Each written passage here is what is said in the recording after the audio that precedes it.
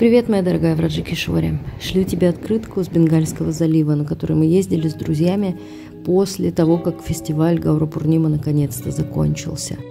Я совсем выпала из своих личных дел. Наверное, месяца полтора я вообще ничего не монтировала, не снимала, ни с кем толком не переписывалась, и даже тебя забыла поздравить с днем рождения, представляешь? Оправдания мне, конечно, нет, но я, может быть, порадую тебя коровами с пляжа. Немножко расскажу, как прошел фестиваль. Ну, начну с того, что у нас помимо фестиваля э, было также наше служение, потому что я же в департаменте воскресных программ. И, в принципе, у меня такое же служение, какое было всегда и в Берлине, и в Вене. Это так удивительно, что Кришна меня таким образом занял. Так что я на самом деле чувствую себя на своем месте полностью довольна. Это выездная программа. Э, иногда раз в полтора или два месяца я езжу на выездные программы с Джаванатхом Прабу. Он ученик Шил Прупады и также глава департамента Харинам здесь, в Майпуре. И это очень интересный тоже опыт – побывать в разных местах. С конца февраля в Майпур стали подтягиваться люди. Приехал Гурудев, он давал лекции каждое утро и каждый вечер.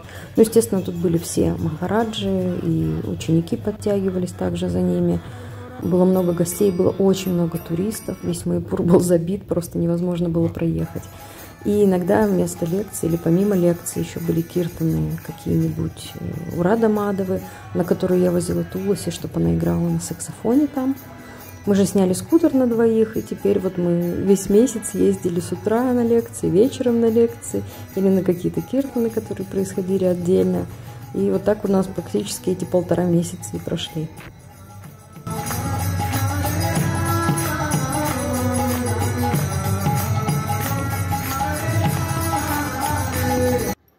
Также в этом году было два крупных события в храме. Первое – это открытие крыла Нарасимхадева в ведическом планетарии.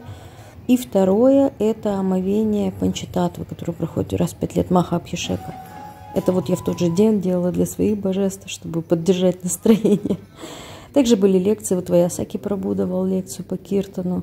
Мы также ходили по вечерам на Харинамы, как обычно. Ну, в те дни, конечно, когда мы были свободны. И есть один кадр, который я сделала специально для тебя. Я думаю, они пришли после заседания GBC, присоединились к Харинаме.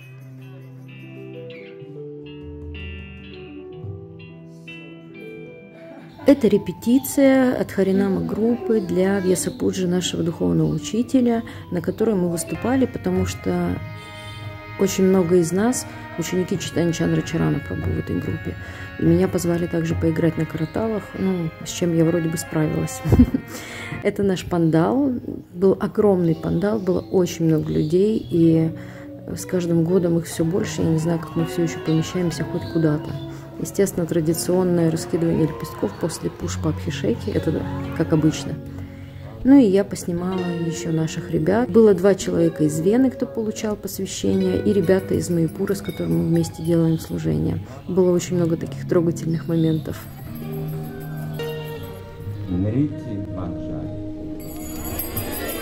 Кришна Видья Анугани Гопи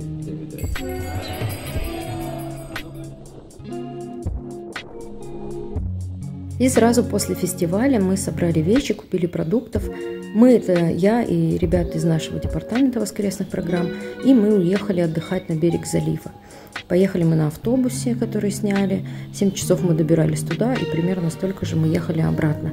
Это недалеко от Калькуты, и там такая специальная бухта, где много санаториев и баз отдыха, и где можно было отдохнуть просто у океана, покупавшись там, поплавав в бассейне, полежав под кондиционером.